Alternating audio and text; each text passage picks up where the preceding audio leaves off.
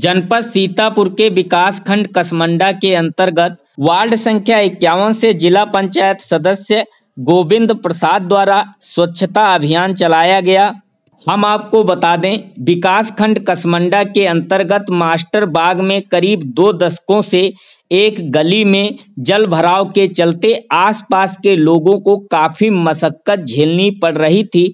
जिसको देख जिला पंचायत सदस्य गोविंद प्रसाद के द्वारा मास्टर बाग में करीब दो दशकों से पटा नाला जेसीबी के सहायता से साफ़ करवाया गया और जल भराव के स्थान पर मिट्टी डलवाकर उसे ऊँचा करवाया, जिससे ग्राम वासियों में खुशी की लहर है। इस संबंध में जब क्षेत्रीय लोगों से बात की गई तो उन्होंने बताया कई सालों से नाला पटा हुआ था। बरसात के मौसम में जल भराव हो जाता था, जिसके चलते बीमारियाँ फैलने का अंदेशा रहता था।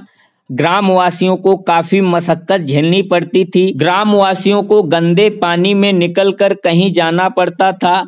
अब जिला पंचायत सदस्य गोविंद प्रसाद के द्वारा सफ़ाई कराने से ग्रामवासियों को काफ़ी सुविधा हो गई है।